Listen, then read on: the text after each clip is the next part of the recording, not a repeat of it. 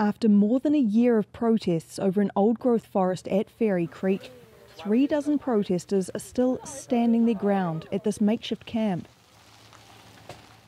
Recycle and like, you know, eat less meat. Like those, those are all good things, but like, it's not enough. It's not going to change the destructive practices that we have going on at a quick enough rate. Nothing but like actually putting pressure on our governments like this and different corporations to change the, their practices is going to make things better.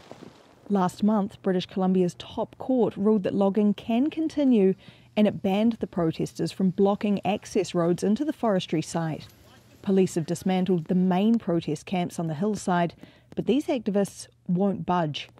Their goal is to slow down the machines by hiding in the logging areas, despite the risk from falling trees. It worked. They didn't cut any more trees in that spot. It was terrifying, not gonna lie. These are the things we have to do. Like, we have to put our bodies on the line. Like, you know, no victory without sacrifice. Since the court's ruling, the protesters can only access the site on foot. Monsoon and Mongoose are former tree planters. They have to walk a four hour trail to join the few activists still at the camp waiting for supplies. Cheese is very important. Cheese. On the way in, we stop in front of a red cedar nicknamed Grandfather Tree. It has become the symbol of their fight to stop these ancient trees from being cut down. It's beautiful. I feel pretty, pretty blessed also somehow protected. Amid the standoff, British Columbia's government announced it will suspend logging across 2.6 million hectares of old growth forests for two years. Dora was one of the first activists at Fairy Creek. She says the province's deferral decision doesn't go far enough. We want a moratorium. A deferral just means that we're going to be back here blockading when the deferral is up. That's not the way it should work. It should just be permanent protection. Troll, come in, Troll. The fight over Fairy Creek has become Canada's largest civil disobedience movement with more than 1,100 arrests. Jimmy Thompson is the editor of the local newspaper, The Capital Daily. He investigated the violent methods that the mounted police have used towards the activists. When protesters tell me that the RCMP is being excessively violent, and then they send me their hospital records that relate to their broken rib, um, it does make sense. They understand that they can basically operate with impunity because there's so little media access out there.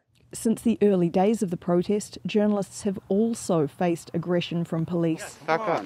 So Back up. gonna make it safe, Yes, back up. You are to be silent while doing your job, or you're not.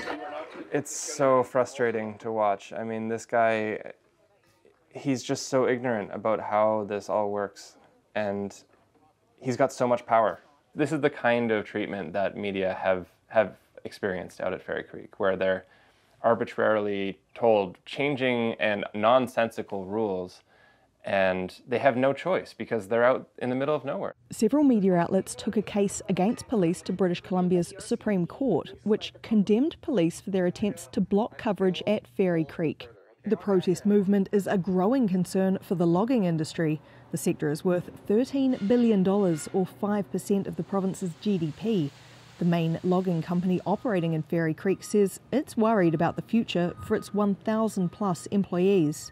We take the stance that the old growth is not in danger. The changes that the environmentalists are asking for are 100% stop old growth logging.